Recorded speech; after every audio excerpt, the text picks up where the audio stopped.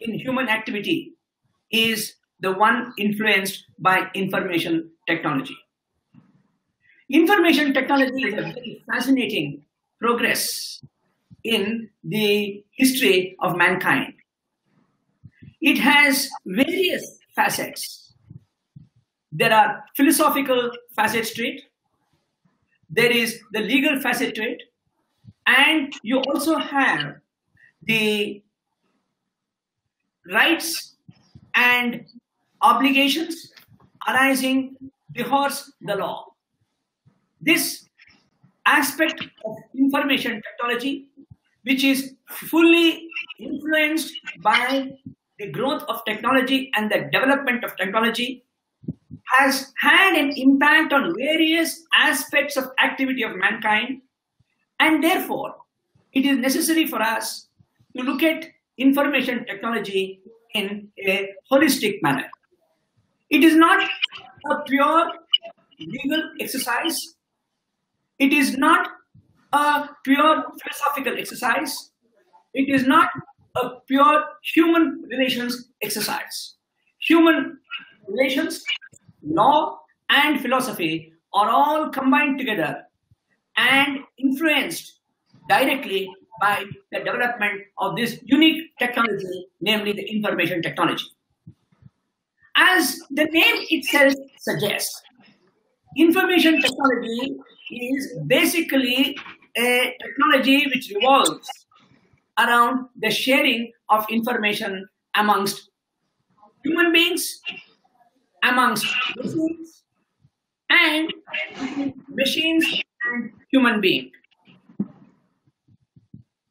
With this sharing of information becoming easier and easier day by day, and the quantum of information that is being shared exponentially increasing day by day, there are several risks that are associated with this technology, which has endangered certain concepts and certain aspects of human activity which we took for granted. It is this aspect of information technology and its impact on human activity that is causing certain alarm, that is causing certain concerns, and it seems to threaten the very existence of a honorable and decent livelihood. It is these aspects of information technology which raises concern.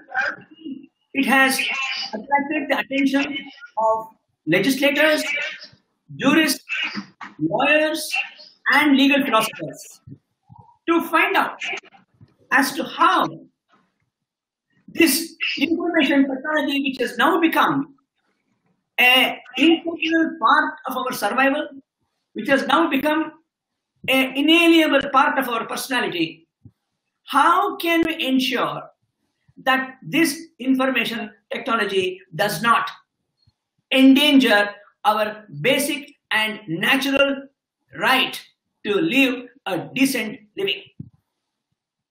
Don't intrude into my privacy was the statement till.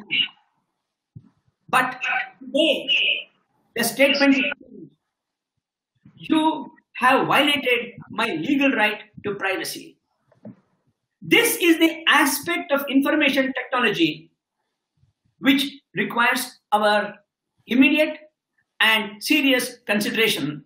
And I shall, in the course of the next time, few uh, next few minutes that is available to me, delve on it in the context of this basic human right, namely the right to privacy.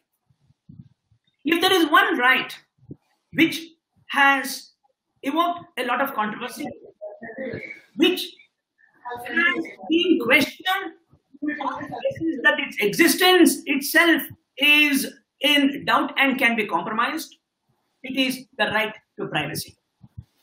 If there is one right, if we may call it as that, which has been directly intruded by information technology, which is the right to privacy.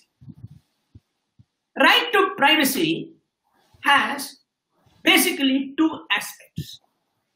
The one is the physical aspect, the other is the non physical aspect, namely the privacy in the matter of thought. The concept of privacy is better understood than defined. What was private decades ago has ceased to be private today. It is affected, the concept of privacy is affected by what is called as the time, place, and circumstance. Kala, Desha, and Vartamana. What was considered to be perfectly a private affair years ago, decades ago, centuries ago, today is no longer private. What was considered to be perfectly within public domain is today considered to be a private affair. Not only has information technology invaded into the concept of privacy itself in these changing circumstances. With the growth of business and the dealings between human beings all across the world with one another, privacy as a concept has now acquired a wider definition privacy in the matter of health, privacy in the matter of finances, privacy in the matter of my political philosophy, privacy in the matter of religious thinking, privacy in the matter of sexual preferences. All these have now emanated as important subjects of discussion and requiring protection in the context of the uninvited guest namely information technology. Privacy remains and has still remained to be an undefined and uncharted course. As I said, lawmakers, judges, jurists, lawyers are left astounded and dumbfounded, being unable to fathom the extent and content in this unending journey into the unknown jungle of privacy right. There are newer and newer ways by which technology is intruding into our affairs. And any amount of caution, any amount of care is insufficient. For it is axiomatic that technology has always taken the lead and law has always followed technology. Mariner's compass helped voyagers venture into open seas. Telescope helped stargazers to understand celestial objects. Microscopes have helped detect microorganisms. Medical science has almost fully depended upon technology to bring precision both in diagnosis and treatment. But the advent of technology has complicated the understanding of this concept of privacy and made this concept obscure and illusory. It is therefore necessary that we have to evolve new jurisprudence, we have to evolve new legal principles in order to protect the onslaught on this right of privacy by information technology. All the nations across the world, all laws are now engaged in protecting this concern against the invasion by information technology on the right to privacy. Privacy has two connotations, as I said physical and non physical. Non physical being privacy in the matter of thought. As society evolved, initially, privacy was shunned as a concept. there was no concept of private living. People had nomadic lifestyle. In fact, security existed in being open, transparent, and communicative with one another.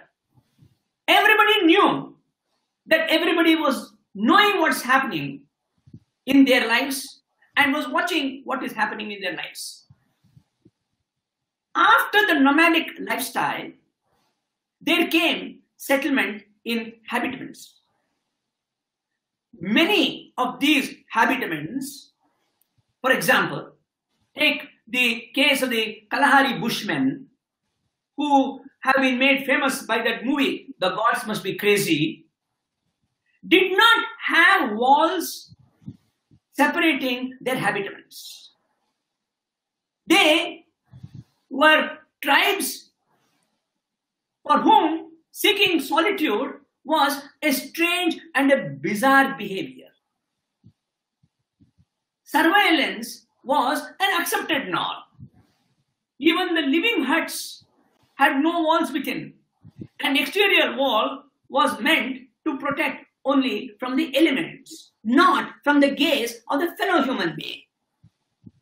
Loneliness, seclusion, concept of confidentiality, proprietary information, freedom of thought, confidence, secrecy.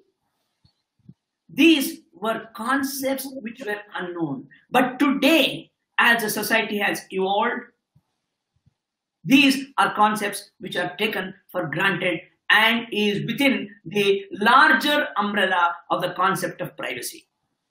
Some of these concepts are protected by law and some have come to be accepted as an inviolable social norm. The concept of proper privacy has been differentiated between the rich and the poor. In the ghettos of the poor or the slums of the modern day world, the choice to keep private or not just doesn't exist. It is elusive. Actually, if we look at the concept of privacy as invaded by information technology, privacy is the playground of the hares. The concept of an egalitarian society and that of privacy seem strange bedmates. The first concept of privacy in real estate was recognized way back in 1603 in what in the famous Semayne's case. The rule of England was taken over by the Stuart dynasty, by James I in England. At that time, Sir Edward Coke made the following statement that the house of everyone is to him his castle and fortress, as well for his defense against injury and violence as for his repose. This idea mooted by Sir Edward Coke has not remained in its pristine form given the evolution of society as a state with different ideologies.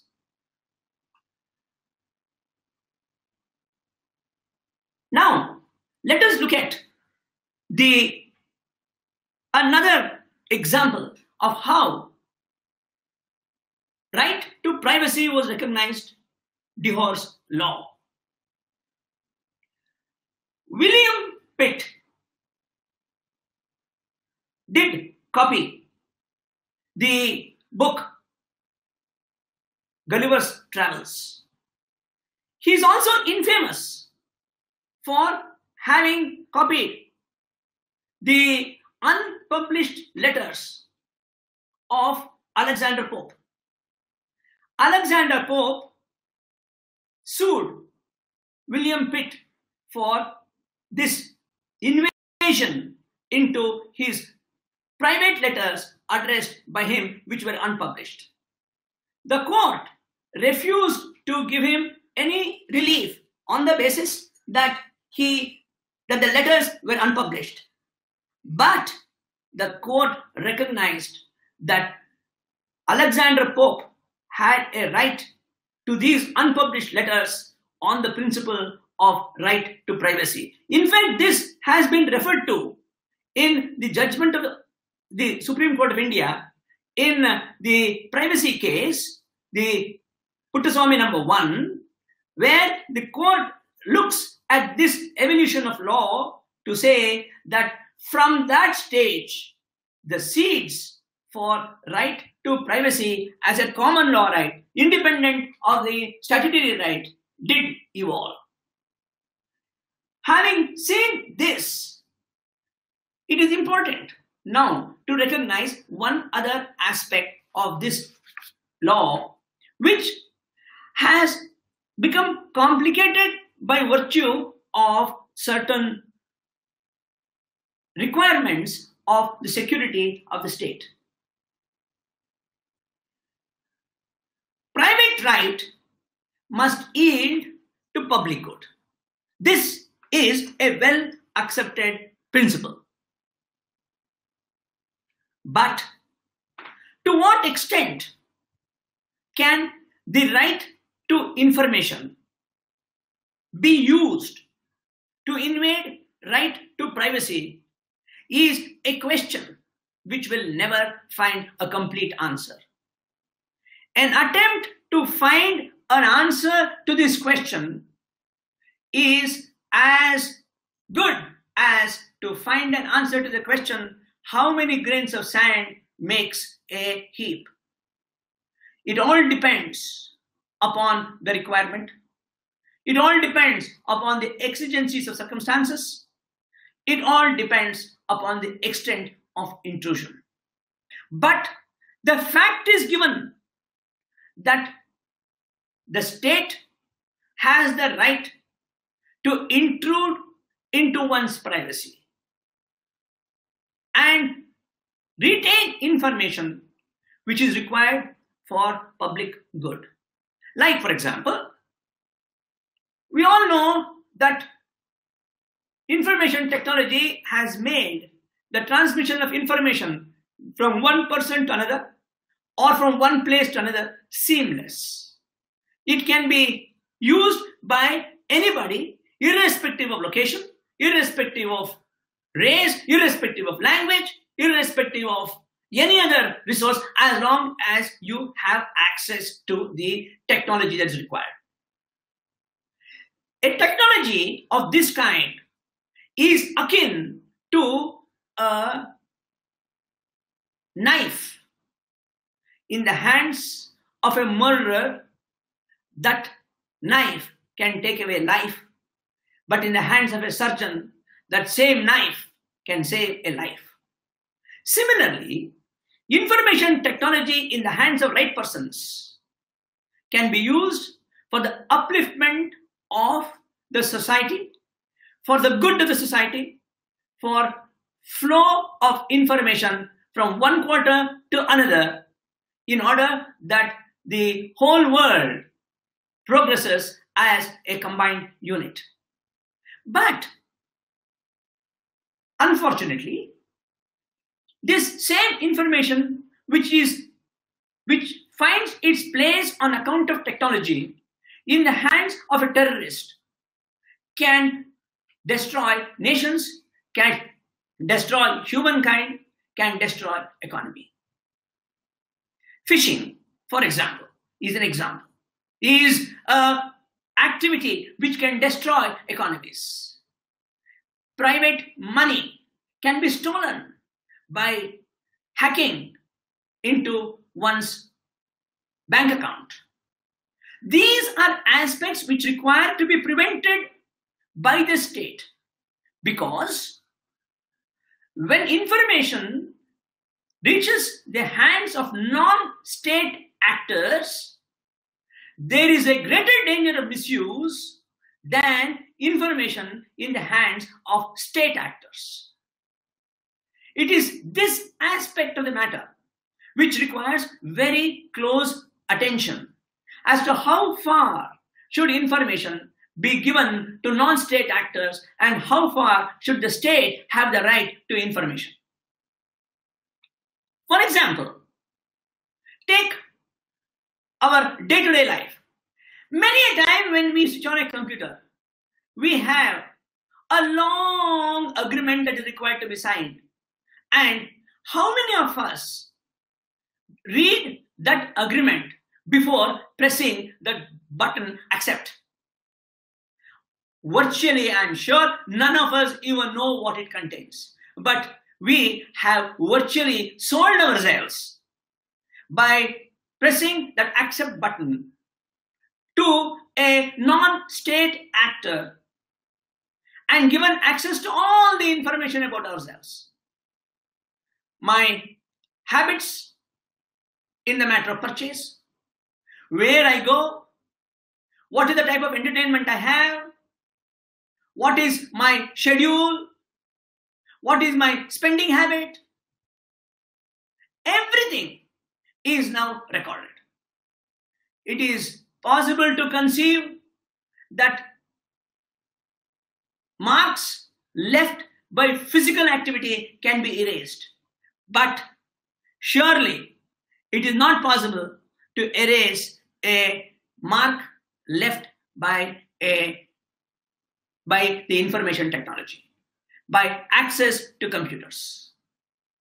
It is this aspect which requires to be regulated by law and it is towards that end that all developing and developed countries have evolved laws to protect such right independent of the human right.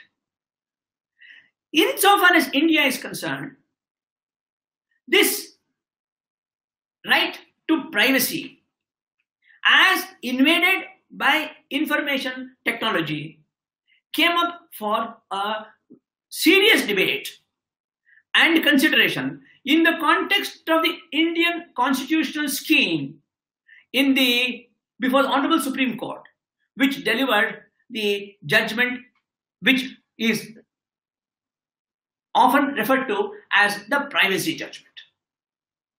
The question which arose in the privacy judgment was as to whether a right to privacy is a statutory right which is required to be conferred or whether it is a fundamental right flowing out of one or more of the articles contained in part 3 of the Constitution of India. After a detailed analysis, the Supreme Court came to the conclusion that the right to privacy is part of the fundamental rights enshrined in part 3 of the Constitution of India more particularly Article 21. While it is true that Article 21 by itself does not have any special limitations, the fact of the matter is that an intrusion into privacy right is permitted by information technology if it satisfies a threefold condition, namely non rivalrous. Second, it is invisible. In fact, it has been described as the swiftest theft. And thirdly, that it is recombinant, namely, that one data output can be used as input to generate more data output. That is the concept of recombinant. For example, we have Alexa at home. Take it that if you are discussing in the room where Alexa is kept about a possible vacation plan, in the next one week, you will have mails on your mailbox from several travel agents proposing tours and hoteliers proposing their resorts. How did the conversation in the privacy of my home reach somebody who is promoting their business? That is the concept of recombinant. One data input gives you a data output, which in turn gives you more data input. This is what has been explained in great detail as part of technology, information technology by authors. Now, if these three aspects of information technology is taken care of, then courts have held that such a intrusion into the right to privacy by the flow of information using information technology as a tool is permissible. But the question always remains where do we draw the line?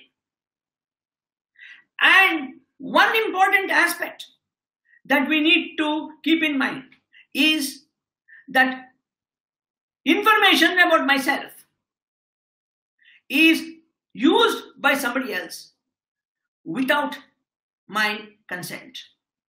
I might have signed or accepted that agreement, but the fact remains that there is no consensus ad idem. In a if it is a brick and mortar situation, such an agreement would have been struck down by courts as not indicating a consensus item. For example, a entry behind a laundry receipt which says that if there is a damage to any of the garments, the launderer will not be liable to pay more than rupees 50 as damages. Courts have taken the view that such a clause is unenforceable. That it is permissible for a owner of a garment which has been given to a launderer to sue the launderer for the cost of the garment and damages. Is that, is that concept still a valid and current concept in the background of information technology which does not seek my permission to use any particular information that is available on the net about myself. Marks left by information technology, as I indicated, are irreversible. You may delete a particular activity on your laptop, you may delete the activity on your computer, desktop, iPad, but there is always a remnant of your activity stored somewhere which is accessed by somebody. That information is being used without your consent. Now, if that information is being used without my consent and inferences are drawn about me, my activity, my mental thought, is this not a serious intrusion into the right of a person? Obviously, it is. Has technology found a complete answer to this? Answer is no, on the contrary. Technology is permitting such sharing of information. But are we able to do away with the technology? No. So we are in a catch 22 situation when it comes to information technology. To the extent possible, laws have stepped in to provide for safety and security against such an intrusion and the unauthorized use of information about individuals, groups, nations, and draw inferences. In fact, there is a very interesting uh, uh, write up on this. If a person has accessed certain websites at one particular stage of his life, can you say that the person's mental makeup can be conclusively established and he could be talked about in that manner on the basis of the websites that he visited at one particular point of his life. He might have evolved. He or she might have different thoughts as one grows in life. Where is all this factored in by information technology? Obviously, information technology cannot factor all this in.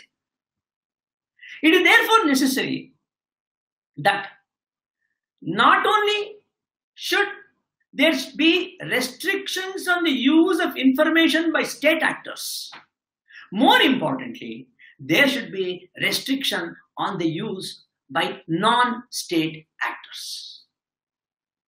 Now there is another development that has taken place insofar as information technology is concerned. That is the role that is played by institutions called intermediaries. Now, intermediary is simply a platform on which one posts various information. It could be photos, it could be material, it could be writings. Intermediary has no right or ability in law to screen or filter the information before it is put in. In fact, one concept which has evolved in information technology is the concept of net neutrality. The manner in which the law relating to information technology and the thinking towards information technology is progressing is that intermediaries should not have any decision making power with regard to what is put on their platform. If they do not have that information, if that if they do not have that right, then the there should be some outside agency which could step in to inform the intermediary about the content of such matter that is placed on their platform.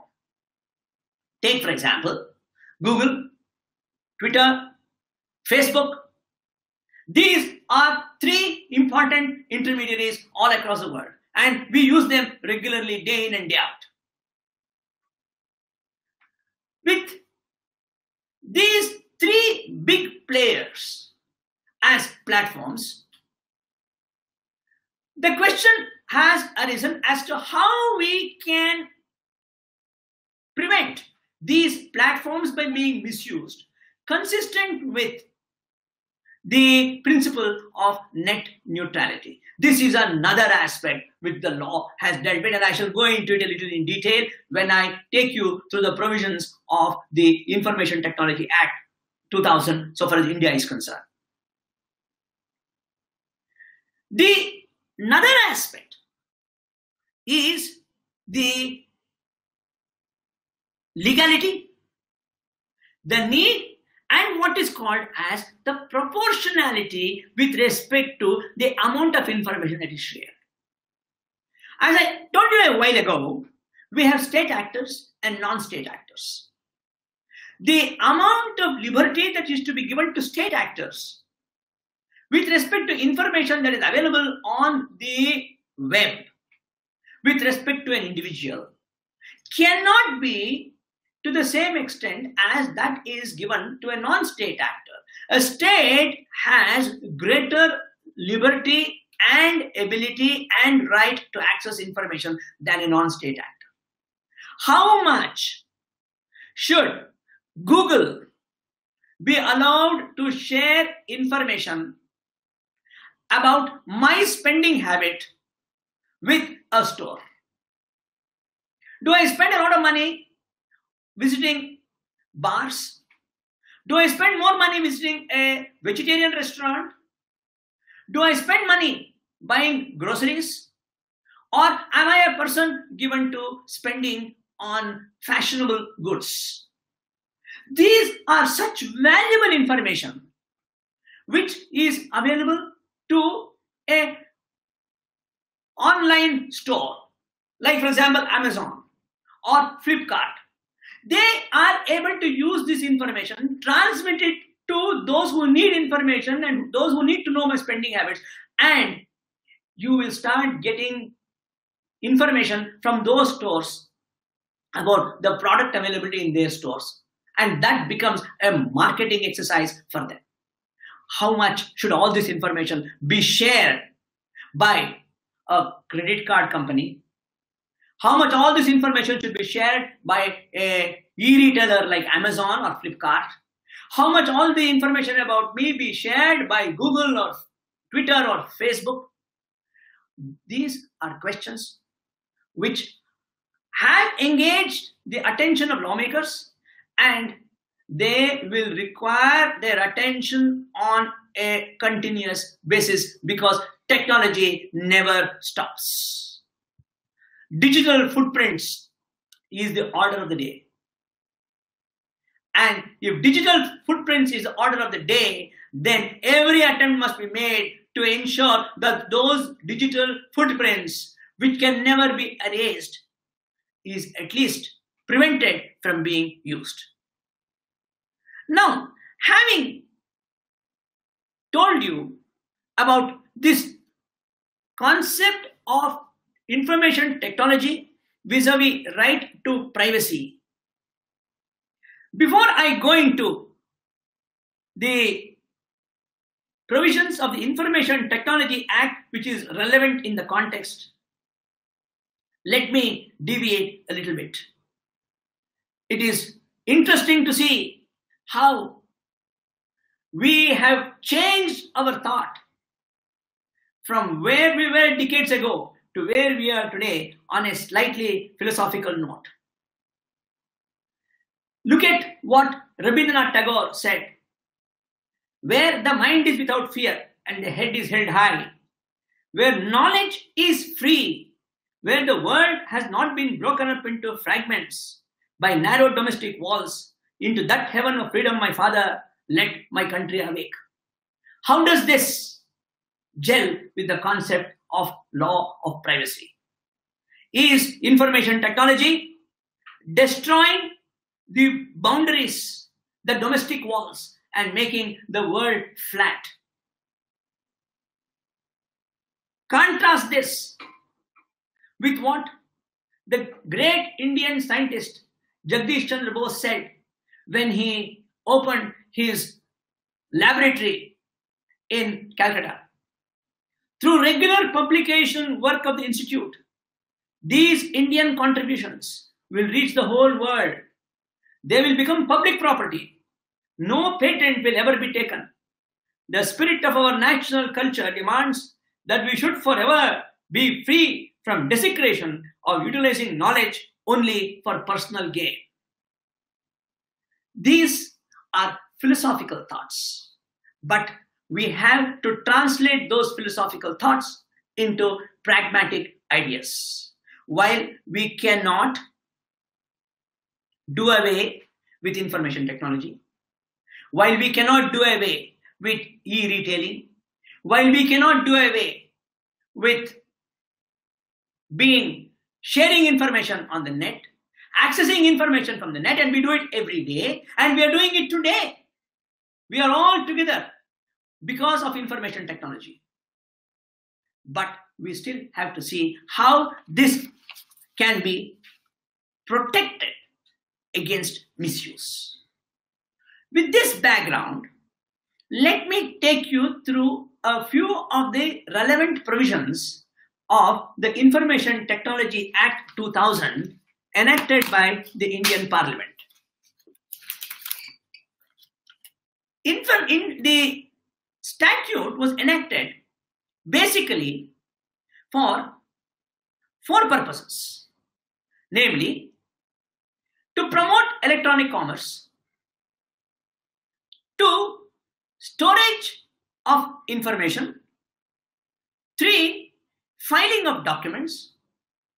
Four amendment to certain traditional laws like the evidence act because if you are applying the Evidence Act as originally conceived, a lot of matter that is now in non-material form would be excluded as evidence. Therefore, the Information Technology Act amended the Indian Evidence Act with a view to promote the filing of documents. For example, all of us file our income tax returns as e-filing today. Filings are done by corporates with the MCA. On the website, it is online. Nobody physically signs a paper for the purpose of filing an income tax return today. If I have to file an income tax return on or before the 31st of March or the 30th of September, as the case may be, it is filed and thereafter it is a return, a signed uh, Uh, income tax return is filed. That has become possible by virtue of the development of technology in the form of digital signature. Digital signature has come to be recognized as a legal recognition of an electronic record by virtue of the Information Technology Act. There are certain acts which under law, under several laws, is required to be done only with the help of a material paper. For example, did you ever conceive that there could be a prescription unless written by a doctor on a piece of paper which you take and present it to the pharmacist? The answer was, well, we never thought about it. But look at section 4 of the Information Technology Act. Where any law provides that information or any other matter shall be in writing or in the typewritten or printed form, then notwithstanding anything contained in such law, such requirement shall be deemed to have been satisfied if such information or matter is rendered or made available in an electronic form and accessible so as to be usable for a subsequent reference. Now, section 4 has a non-obstante clause. It overrides the provisions of every other enactment. For example, the Drugs and Cosmetics Act, which has Schedule H drugs, which can be dispensed by a dispensary only on the basis of a prescription written by a doctor. It is by virtue of Section 4 of the Information and Technology Act that today e-pharmacies have come to stay.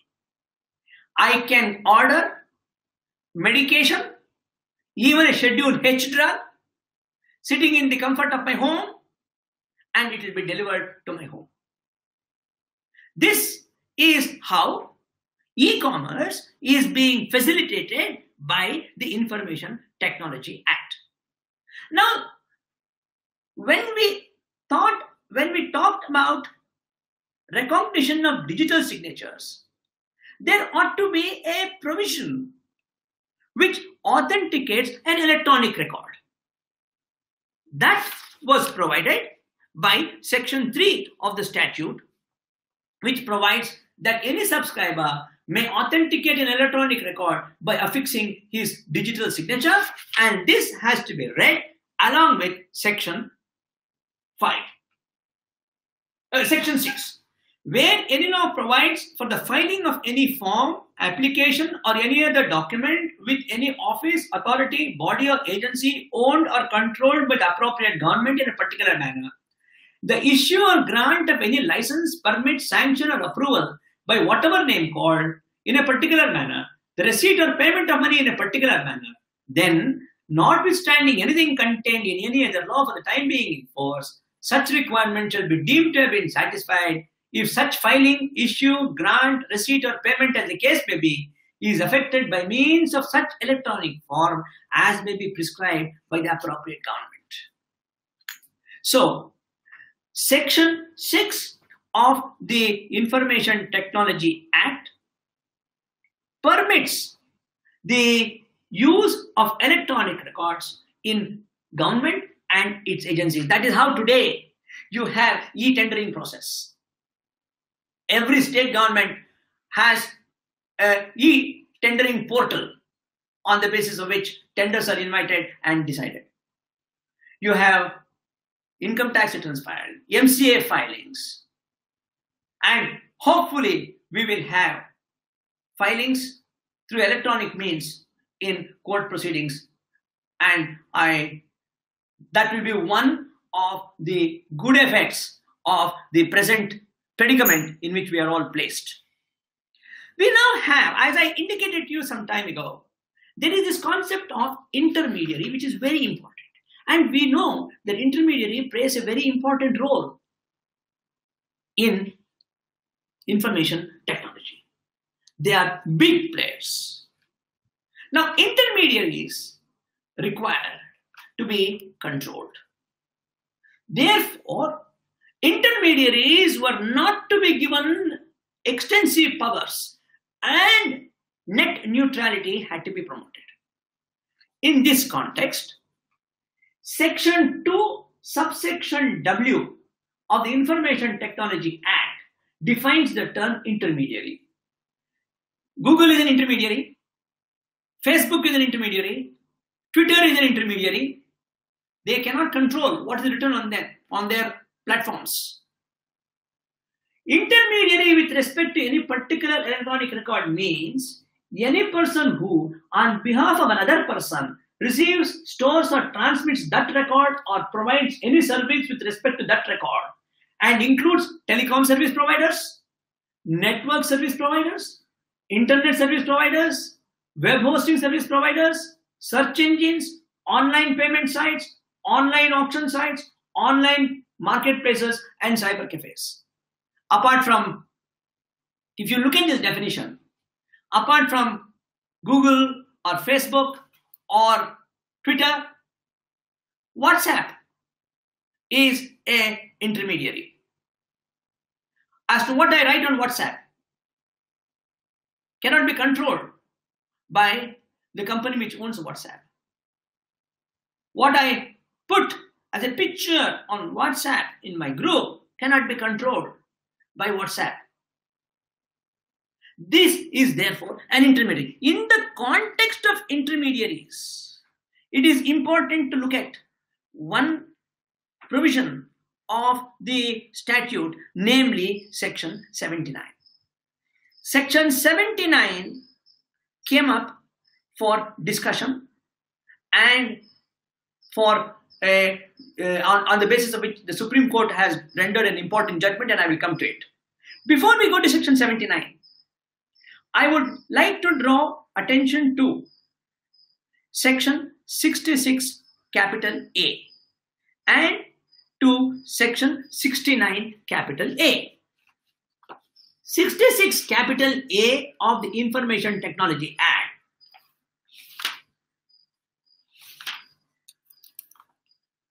made it an offense to send any information that is grossly offensive or has menacing character or any information which he knows to be false but for the purpose of causing annoyance, inconvenience, danger, obstruction, insult, injury, criminal intimidation, enmity, hatred, or ill will, persistently by making use of such computer resource or a communication de device. Any electronic mail or electronic mail message for the purpose of causing annoyance or inconvenience or to deceive or to mislead the addressee or recipient about the origin of such messages. This, doing any one of these three, is an offense under section 66 capital A of the Information Technology Act. The validity of section 66 capital A of the Information Technology Act came up for consideration before the Honorable Supreme Court in the celebrated judgment uh, in of Shreya Singhal. The Supreme Court went into the question as to whether section 66A, which restricted certain information to be put on the computer resource and which made putting of such information a cognizable offense was constitutionally permitted. First and foremost, in Shreya Singhal, the Supreme Court recognized the position that the that a right of this kind affects or a prohibition of this kind in section 66a affects freedom of speech guaranteed under article 19.1a of the constitution. Having so accepted that position Shreya Singhal then analyzes as to what are the types of restrictions that can be placed on this right in terms of Article 19.2 of the Constitution. The court looks at Article 19.2 and analyzes the same and holds that the permissible restrictions on the right under Article 19.1a has to fall on one within one or more of the buckets specified in Article 19.2. For example, if you look at Article 19.2 of the Constitution of India, 19.2 permits reasonable restrictions to be placed on the right guaranteed under Article 19.1a only if such restriction falls within the one or more of the following buckets, namely interest of the sovereignty and integrity of India, two, security of the state, three, friendly relations with foreign states, four, public order, five, decency, six, morality, seven, contempt of court, eight, defamation, or nine, incitement to an offense. It is only if a restriction on the right under Article 19.1a falls within one or more of the buckets specified in Article 19.2 that such a restriction will be permissible. The court examined Section 66A and ultimately came to the conclusion that the restriction that was placed by Section 66A was a restriction on the right under Article 19.1a and did not fall within any one or more of the buckets enunciated in Article 19.2 and therefore was unconstitutional. 66A was therefore struck down by the Supreme Court. In the context of 66A, one other provision which the Honorable Supreme Court examined was Section 79 of the Information Technology Act. Section 79 of the Information Technology Act is a safe haven for intermediaries. It exempts intermediaries in certain cases. It provides that an intermediary shall not be liable for any third party information, data, or communication link made available or hosted by him. But the protection under 79.1 is available to an intermediary only if the intermediary satisfies the requirements or the conditions enunciated under section 79.2. 79.2 provides that the protection under 79.1 will be available. Only if the function of the intermediary is limited to providing access to a communication system over which information made available by third parties is transmitted or temporarily stored or posted. That is, the role of the intermediary is limited to providing access, nothing more. Or the intermediary does not initiate the transmission, select the receiver of the transmission, or select or modify the information contained in the transmission. So it is 2A or B, and the intermediary observes due diligence while discharging his duties under this act and also observes such guidelines as the central government may prescribe in this behalf. The central government has prescribed guidelines. That guideline is called the intermediary guidelines issued by the central government under section 79.3 and that also came up for consideration in Shreya Singhal's case. let me point out to you what Shreya Singhal said about these guidelines. If you will look at the judgment of the Supreme Court in uh, Shreya Singhal, more particularly at paragraph 117, the Supreme Court read down the provision contained in 79.3b and came to the conclusion that it is the obligation of the intermediary under 79.3b is only where there is a court order directing the intermediary to bring down the content on their platform. If you will kindly go back to section 79.3b, you will see that on the face of it, 79.3b is worded in a very broad manner. The provisions of subsection 1 shall not apply. That is, the safe haven under 79.1 does not apply to an intermediary. If the intermediary has, upon receiving actual knowledge, that the data is being used to commit the unlawful act, but still does not take down the data from its portal. In other words, on a plain reading of 79.3b, it appears that a discretion has been given to the intermediary to decide as to whether a unlawful act has been committed by a particular matter which has been posted on the portal of the intermediary.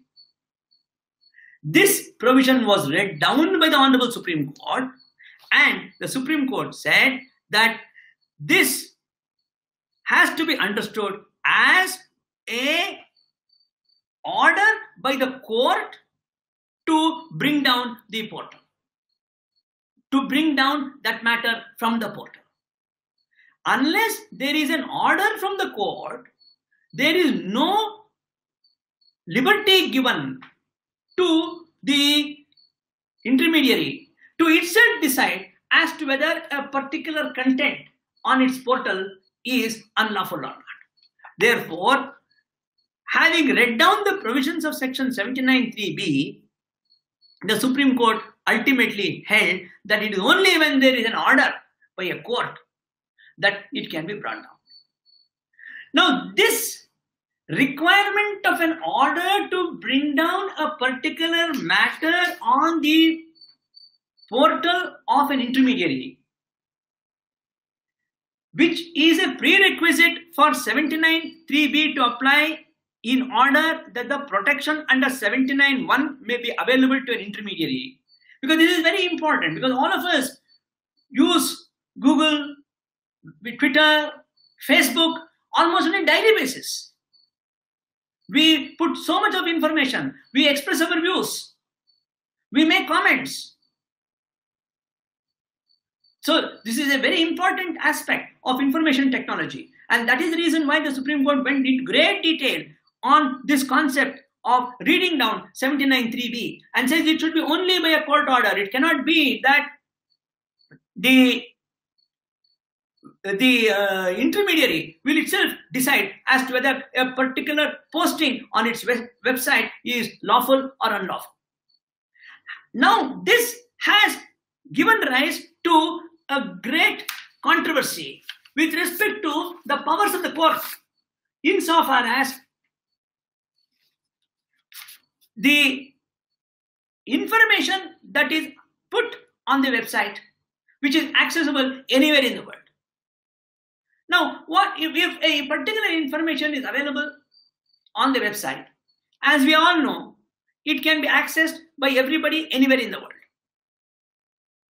Now, which court has the jurisdiction to direct that a particular matter which is hosted on the website of an intermediary, on the portal of an intermediary, is unlawful and therefore it should be brought down. Of course, we all know that in many of these cases, the person who puts the matter does not disclose he, either his or her name or his address. it therefore becomes virtually impossible for anybody to know from where has this information emanated. That is the reason why we now have the concept, especially in the matter of internet related disputes. We have the concept of the John Doe orders. Of course, in India, we call it Ram Kumar orders. John Doe orders or Ram Kumar orders are passed by courts against unknown defendants. Now, in the context of the fact that the defendant is not known, the intermediary has a safe haven under section 79.1. Intermediary has no control. There is a requirement of a court order. Which court has jurisdiction? Does it mean that anybody anywhere in the world who can access the internet can go to that court and get an order? This has engaged the attention of a very, a, there's a recent judgment of the Delhi High Court on this point in relation to Ramdev, Baba Ramdev, and his company, the Patanjali Ayurved Limited.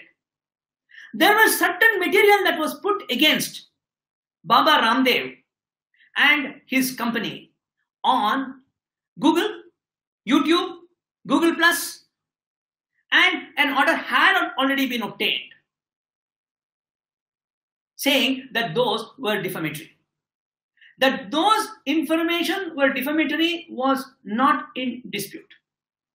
But these intermediaries pull down those information only from within India and the information continued to be published outside of India. Now the question arose as to whether a further direction can be issued to these intermediaries to pull down all these material all across the globe. That took the court to answer the question as to whether it has jurisdiction to do so. The question was as to whether it is local geography or global geography. Answering that question, this Supreme Court, the Delhi High Court in this judgment of 2019 came to the conclusion that it is only where the information is put from the place it is that court which has got the jurisdiction to pass what the Delhi High Court called as a global order. In fact, in uh, the in uh, in that case, the court went uh, analyzed the argument that there cannot be extraterritorial application of the provisions of the Information Technology Act to affect the right of an intermediary to continue to host matter which has been declared to be wrong in a particular jurisdiction. And the question was whether this dissemination of information all across the world could be prevented. And the Delhi High Court came to the conclusion that it could be done. The other question that arose was as to how and where an action could lie with respect to the guideline under the guidelines and under section 79.3b. The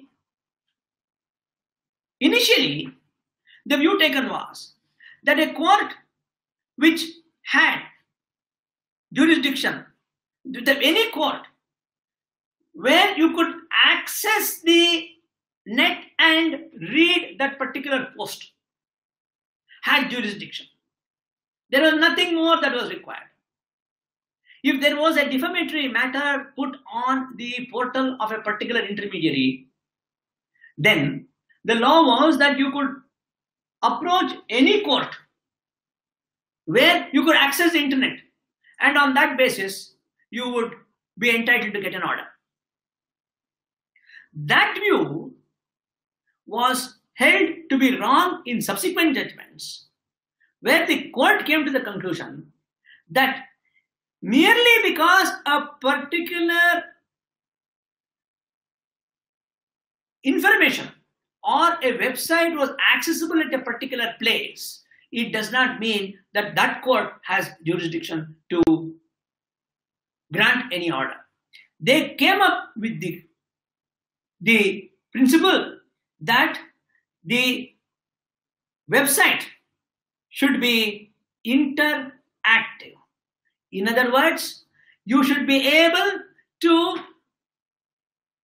promote your commercial interest, not merely by placing that information, but you should be able to actively work on that website on the basis of information which is available.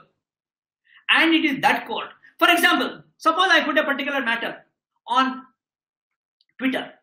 Well, somebody puts a matter, I can comment on that. Somebody else can make a comment on what I put. That is called an interactive website. If it is possible to have an interactive website, that code from where you can have that interaction will have jurisdiction not simply because you are able to view the website and read it, but because it is capable of being talked to. Then the question arose is it enough if you are simply able to talk to it? The law advanced further. They said, no, that's not enough. The website on which the information is put should be addressed to that particular the what they call as a forum audience the forum is the court. The audience is the audience or the people within the jurisdiction of that court.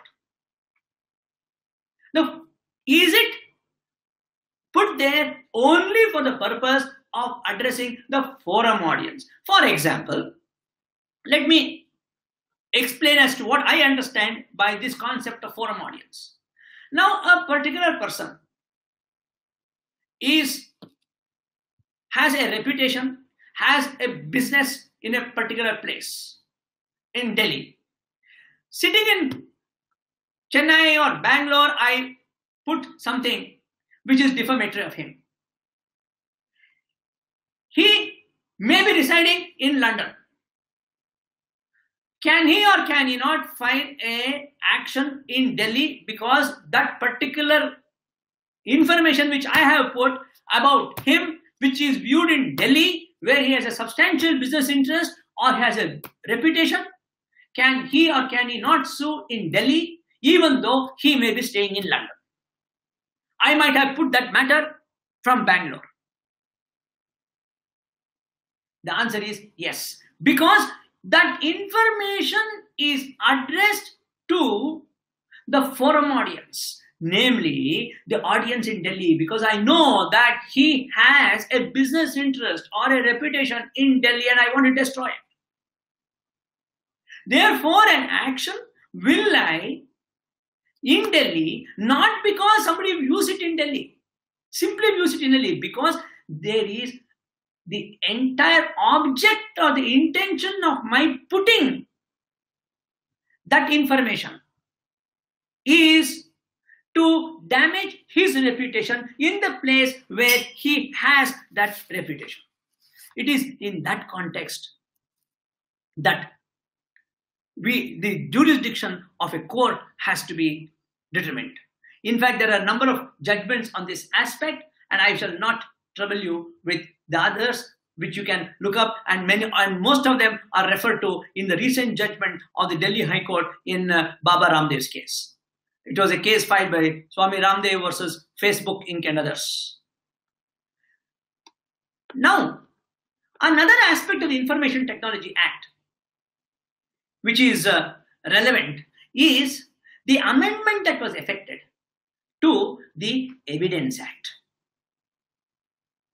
The amendment was affected by section 16 by section 91 of the Information Technology Act, which amended section 59, section and added 65A and 65B to the Evidence Act. As to what should be done by a party in order to have the evidence, electronic evidence, admissible in a court as opposed to physical or material evidence, has been explained in detail by the Supreme Court in the case of Anvar versus Basheer, reported in 2014, where the Supreme Court has enunciated in full detail as to when a person can take the benefit of section 65 capital B of the Evidence Act. I shall not go into the detail, but I shall leave it to those who are interested to look at the judgment, which will help all of us as practitioners to follow the due process, due process of law in order to ensure that the evidence which is in electronic form is admissible under the Evidence Act in a judicial proceedings. Friends, I have now gone into several aspects of the benefits and demerits of information technology. We have come to a stage in our lives where it is impossible to live without information technology. We now, therefore, have to come up with provisions which protect our rights consistent with the demands of the present day commerce and lifestyle. Informa- the Information Technology Act of 2000 is one step in that direction.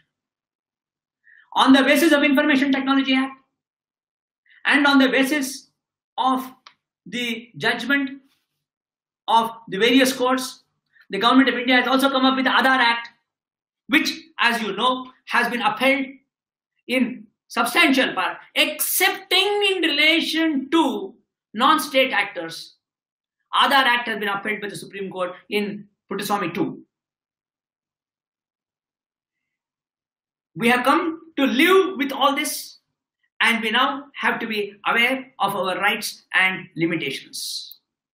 It is therefore necessary that each of us exercise prudence in the matter of how we use this delicate tool, delicate tool, and use information technology for the benefit of all. The one other aspect that I should point out to you is this concept of extraterritoriality of a legislation. There is what is called as geo-blocking and global blocking. And geo-blocking is blocking within the jurisdiction of the court.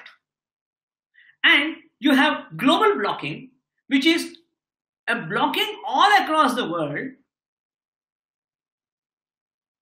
by a court having a limited geographical jurisdiction.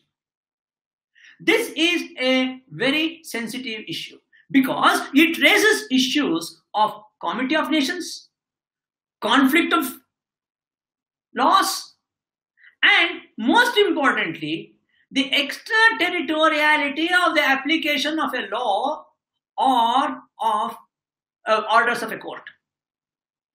Now, extraterritorial application of the Information Technology Act has been specifically provided for in section 79 because it talks about computer resource.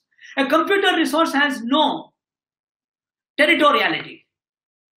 The order is addressed to the computer resource under section 79, read with the guidelines. It is not addressed to the party.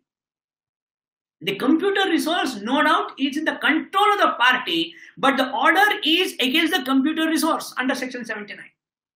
Now, a computer resource is not different from India, is not different for a European country, is not different for a, uh, for America, it is not different for any other country. It's the same computer resource that is used. Now, therefore, if an order is passed blocking a particular computer resource, that order will take effect all across the world independent of where the computer resource is being used or is being viewed. That is the concept of global blocking.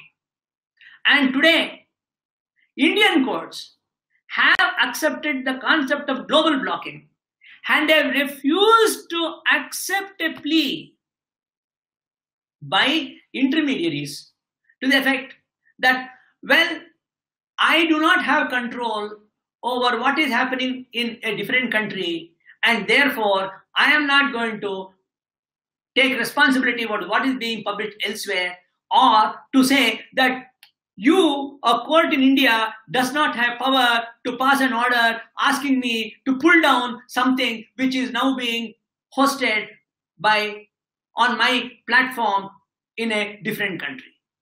That argument has now been set at rest. That's a very important development in the law insofar as intermediaries are concerned because I think the most crucial aspect of Information Technology Act, according to me, which affects our livelihood, is the role of an intermediary. Because we use this so often and it is therefore important and any amount of emphasis on this safe haven that is given under Section 79 as part of net neutrality is not misused. It can't be used for the purpose of doing unlawful acts. It is therefore important that we do give a lot of thought to the role of these intermediaries. I have now given you a bird's eye view of what the law relating to information technology is. This is food for thought. I must confess that it is not an exhaustive presentation on the law or the subject for two reasons. One, I must confess that my knowledge on the technology itself is limited. Secondly, this is such a dynamic field that what is good today becomes obsolete just a couple of weeks from today when we will have to find new ways. It is actually a case of white spy versus black spy. Thank you very much for your patience and I acknowledge with gratitude you are having joined this webinar and I hope I have been able to share some of the thoughts that I had on this important aspect of law, namely Information Technology Act, which influences the life of every one of us, rich, poor, literate, illiterate, urban, rural, independent of geographical location, race, religion, caste, or creed. Thank you very much. Thank you very much, sir. It was a very informative session and we all enjoyed it thoroughly. Uh, if you have a little bit of time, there are a few questions that we would like to ask you that Yeah. our uh, listeners have posted here. I'll read them out to you Yeah. one by one. First one is from one Mr. Vedavel S. California has brought the Consumer Privacy Act that permits the users the right to know what personal data is being collected about them, whether their personal data is sold or disclosed, and to whom, and to say no to sale of personal data, access to personal data, and request a business to delete any personal information about a consumer collected from that consumer. Will such a legislation possibly prevent non state actors from infringing? Yes, in fact, the uh, in India we still don't have a law, but the data protection bill is now uh, referred to the select committee of the parliament, and that law provides for express consent being taken before data is shared. We still don't have such a data with us. So next question is from Mr. M.S. Krishnan. If the ClickWrap contract says we are waiving our rights to privacy and such a contract also says that the data based on the use of information by us can be used for any purpose, will such a contract be against public policy and is there any precedent on this point? I would not think it is against public policy for the reason that I think that it is a personal right. And if a person has waived his or her right to privacy, I do not think that public policy will come into play there. Thank you, sir. The next question is from Mr. Atif. how do you reconcile the dichotomy between the right to censor inflammatory or genocide posts on intermediaries, like in Myanmar, with their obligation to not control or censor posts, like you said, in light of net neutrality? And how does the states ensure this line is drawn and complied with by non-state actors?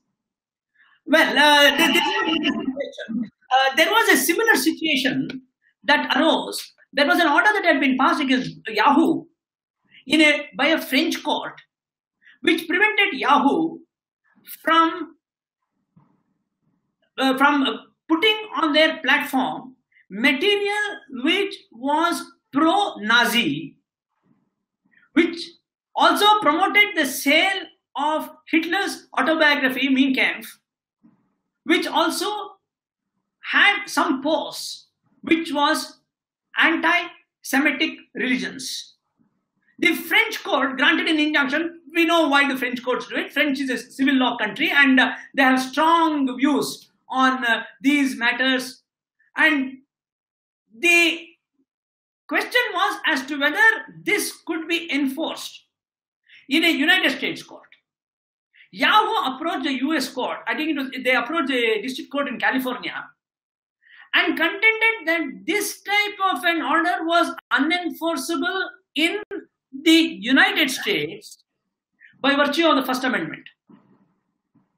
The US court took the view that the order that had been passed by the French court has to be tested on the anvil of the law in the United States, and when so tested, that order did not stand the scrutiny of the First Amendment and therefore was unenforceable.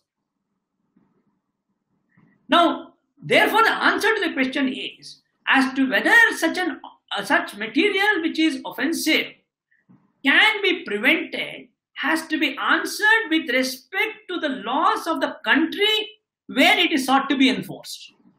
And it cannot be answered divorce the law of that country. For example, if, a, if uh, we have section 13 of the Civil Procedure Code in this country, where if a judgment is passed by a foreign court, the only method by which you can enforce it, unless it comes under the purview of section 40, uh, 43 or 44 of the CPC, is if you get a decree on the basis of a foreign judgment. Now, that decree will not be granted unless that foreign judgment is in accordance with the law of India. Therefore, the answer to the question is that the, an order of that kind can be passed only or enforced only if it is in accordance with the laws of this country.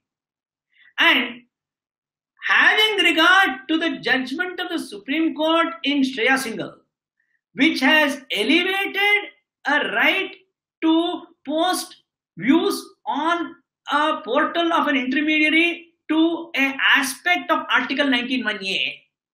My view is that it will not be possible to prevent such a posting. Thank you. Thank you. Uh, next question is from Mr. Viresh. What if a foreign national comments something absurd in an interactive website? Then can we bring action against him or her and where? The, uh, the, the, the law as it appears to be at play is that you cannot sue.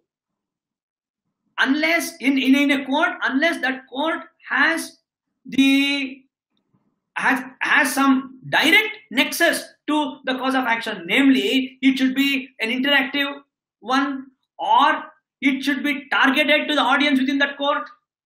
It's simply because a foreign national has put it has put something on the web, I cannot say I looked at it in my village and therefore I sue him here. That seems to be the law as now prevalent in this country. So next question is from Ms. Aishwarya Vaidyanathan. Does the personal data protection bill create a sort of monopoly since all personal and non-personal data are under the purview of state agencies? Well, it could. Let us trust the state. Yes, sir. Next question is from Mr. Hitesh Singhvi. The best, the best uh, cash box and the safest uh, chest is the state. Yes, sir. The next one is from Mr. Hitesh.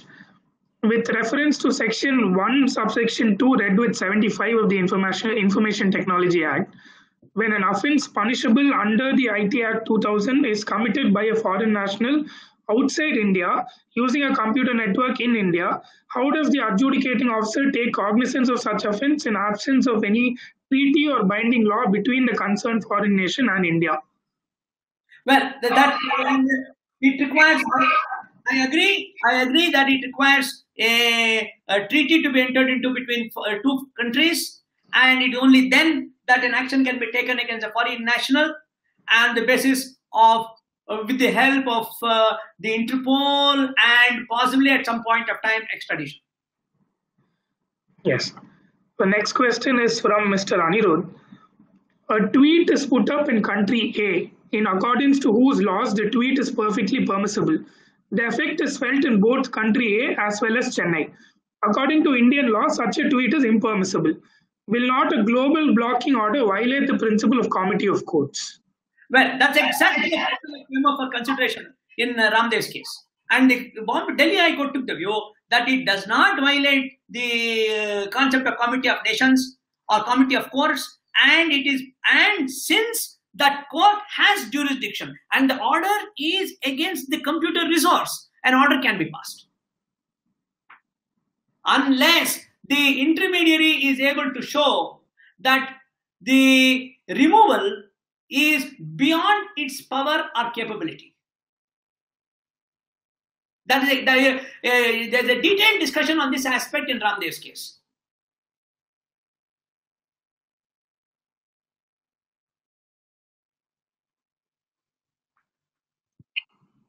Yes, sir. Yeah. Uh, next question from uh, Mr. Hariprasad DG.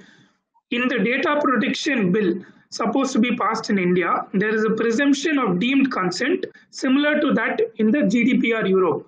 I hope it might have a severe impact on the right to privacy in India when compared to that of Europe, which is a rather informed society. What is your opinion on that with insights on prospective validity of the provision and changes that be required?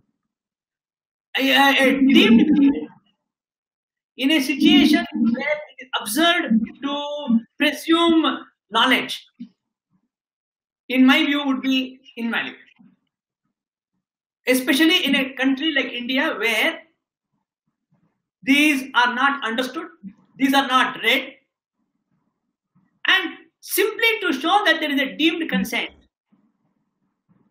because you have accepted a particular agreement or use a particular website. In fact, the, the moment you log in, some some of the websites say you're deemed to have accepted the terms and conditions of our uh, portal. In my view, that would be open to serious challenge in a country like India as opposed to a more literate society in Europe. with your permission, one last question, sir. Uh, from Mr from Ms. Vinuta Rayadurg. Uh, how does one execute or enforce John Doe orders in India? Oh, John Doe orders. Yeah, you get an order uh, against an unknown defendant, and then then you need to go and keep searching for the persons who violate the injunction, and then serve the injunction on that person, implead that person in the court, and get an order, a final decree. That's the way John Doe order is enforced you you have a John Doe order. You go in search of persons who have affected your right, which is in violation of the order of injunction that has been granted by the court. You serve that order of injunction on that person, get his details, come back to court, make him a party, and get summons issued from the court to him. And then he has a right to participate in the court proceedings, including asking for vacating of that order. That's the way John Doe order is enforced. Sir, uh, Mr. Anirudh has a follow-up question with regard to his question on a tweet that is put up in country A, which is permissible there and in Chennai. The follow-up question is that if the same person first approaches the courts of country A and an order of injunction is refused, will the position be different? Uh, I, I, didn't, I didn't get the purport of the question. Yes, I'll read the entire question once again. Yes. A tweet is put up in country A in accordance to whose laws the tweet is perfectly permissible. The effect is felt in both country A as well as in Chennai. According to Indian law, such a tweet is impermissible. Will not a global blocking order violate the principle of comity of courts? This was his first question. To which my answer Yes, sir. In the same factuation, if the person first approaches the courts of country A and an order of injunction is refused, will the position be different? the position would be different if the court which is approached the second time has effective jurisdiction over subject matter in which event the order refusing an injunction by that court according to laws of that country would not simply be valid in this country if the laws of this country is different from the laws of that country. If the laws in chennai is different from the laws of a foreign country merely because the foreign country has refused an injunction that does not mean that a chennai court will automatically refuse the injunction unless the court comes to the conclusion that the laws in chennai and the laws in the foreign country are one and the same and therefore it would operate as res judicata in common law or what you may call as an issue estoppel. Sir, uh, as you know, we've gone live on Facebook also. There's one question from the comment section from Facebook that I'd like to ask you. And with that, we'll uh, end our seminar. The question is uh, re- one Mr. Pavan Kumar Rao. He says that recently I have come across a situation where the cybercrime police, upon receipt of a complaint for a fraud committed over a private individual using UPI platform by another fellow user for a petty amount, froze the account of a financial intermediary by making them a party to the criminal case, where huge monies and the business